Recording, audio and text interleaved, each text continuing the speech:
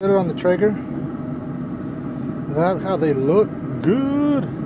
So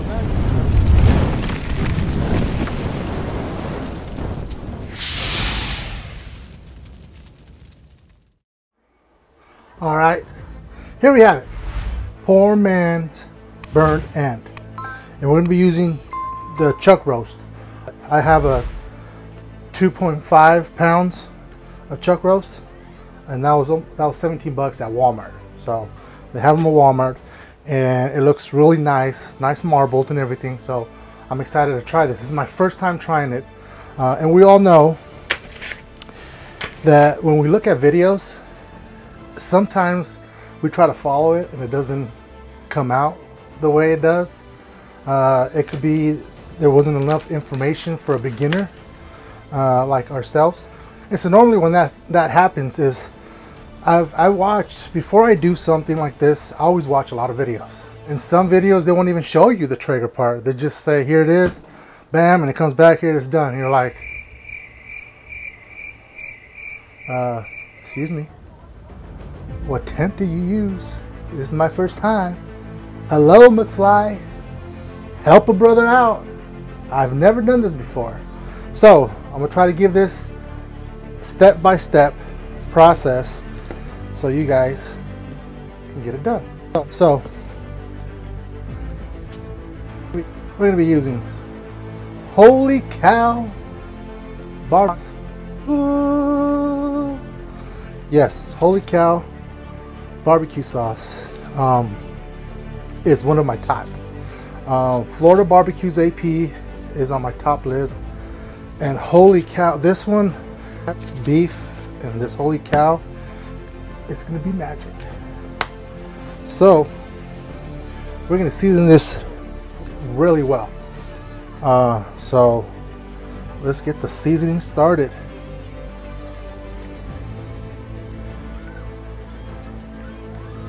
And then it's it's it's not too salty because like I said I had I had this I, I did a uh, and I used this on ribs. I actually made ribs and I used the holy cow and they were a hit. So I was under the impression Holy Cow Barbecue Rub was for beef. But no, I did pork and it tastes delicious. Uh, so, but this is my first time doing it on this chuck roast. So we're gonna get a nice season to it. It has a nice, some nice marbling, so you know it's gonna be good.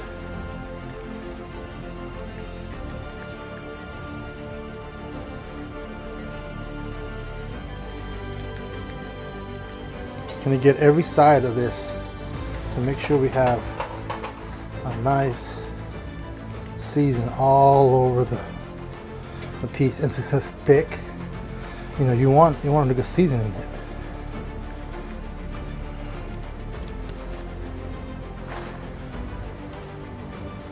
So most my way of thinking when you barbecue it. So, so here we have it. That's some, that's a nice seasoned piece of meat right there. Look at that. Every square inch has some good rub. So now that we got that done like that, so every video that I this is what we're gonna do. 275. We're internal temp, it has to reach 165, but the 165 internal temp mark is when we need to take it out. That's step one. So 275, let's fire up that Traeger. All right, my Traeger is up to 275. So it's up to temp now. Now we're gonna have this bad boy in there. Oh, wait, Ugh, right in the middle. Right in the middle. Right in the middle. So there we have it. So we'll be back in I'm gonna say one hour and a half. And then we'll check it there and see what internal temp we're at. And then keep going from there. All right, so it's been there for one hour and a half. Let's see how it's looking. So we're at 135, 145 in some areas. 145. So 145. So we still got. So that was an hour and a half. So we'll be back at when it's at when it's been there for two hours total. We'll be back. All right, we're back. We're at the two-hour mark. Look how it looks. It's getting there.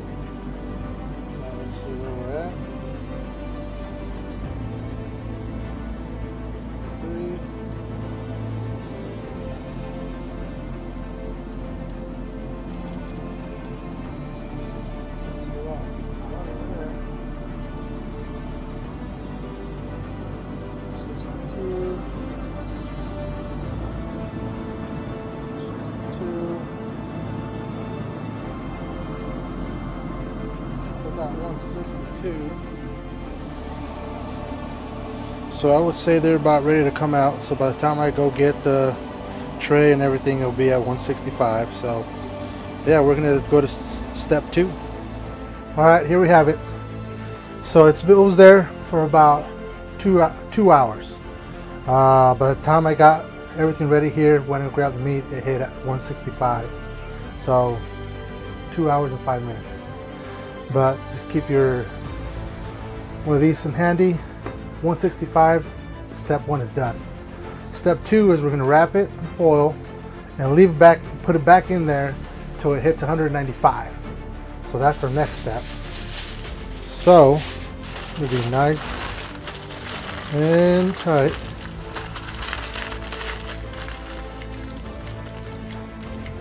And that's it. So I'm gonna put it in there about another hour. I'll go check in within the hour or maybe 45 minutes around there and check and see where we're at. But step two, wrap and internal temp we're going for now is 195.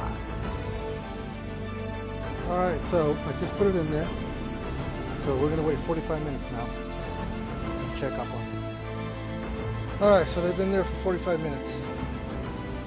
Now let's see working with.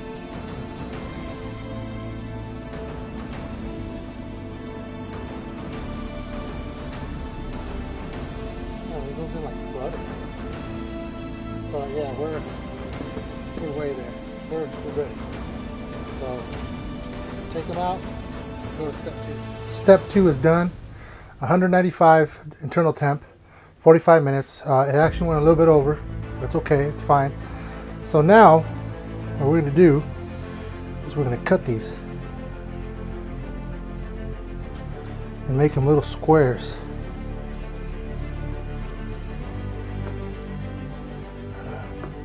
Man, you can smell this. It smells really good.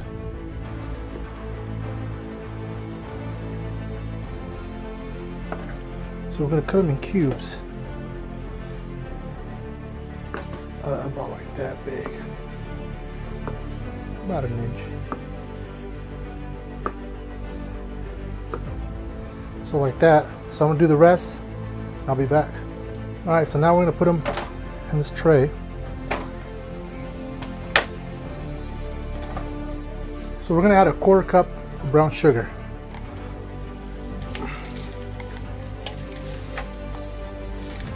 Famous Dave's barbecue sauce. Beginner Barbecue channel's favorite.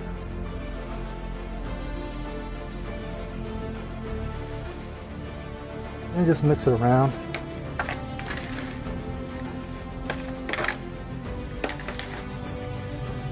So it's going to go back in the smoker for another, they say 20 to 40 minutes. So I'm going to check it at 20 and see how we're looking. All right, let's take it out to the smoker. All right, so we set it on the Traeger. That's how they look good. So now you're not really doing internal temps no more. Internal temp is fine now. Now we're just doing this for that meat, that barbecue sauce here. That'll stick very well. So 20 minutes, we'll be back. All right, so they've been there for 20 minutes now. And there they are. They look great. So let's take them out. All right, so here we have it. Before we get started, let's have a quick recap of what we did.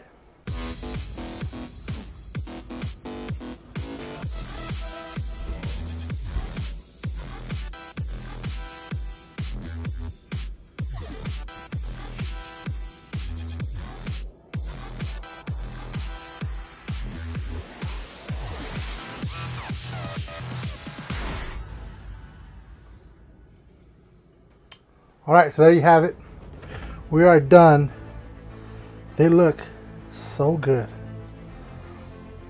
There's one. Uh, so if you guys don't like it too saucy, just put a little bit less than what I put of barbecue sauce. Uh, and then you'll be fine.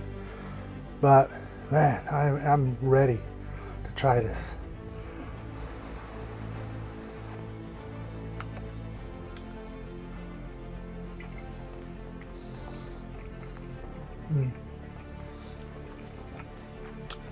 Mmm.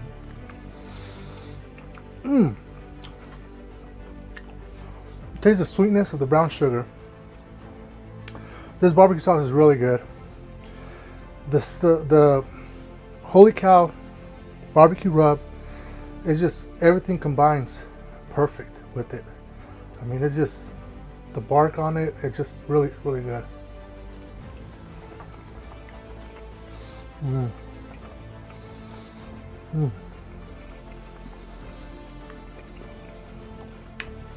I know you guys will like this.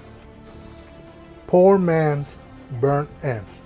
On a chuck roast, on a Traeger. It came out really damn good. Um, make sure you guys hit that like. Make sure you guys hit that little bell so you guys get notified when I get new videos. Make sure you guys hit that boom, hit that subscribe button for more great content that will be coming on. Don't also, ready for this? Do not forget, and I'm telling you guys, do not forget to check out one of these videos right here. This one, this one, this one, this one. They're really great videos. You should try it. And if you want to be a pal, hit that little guy for a subscription. Thank you guys, and we'll see you guys next time.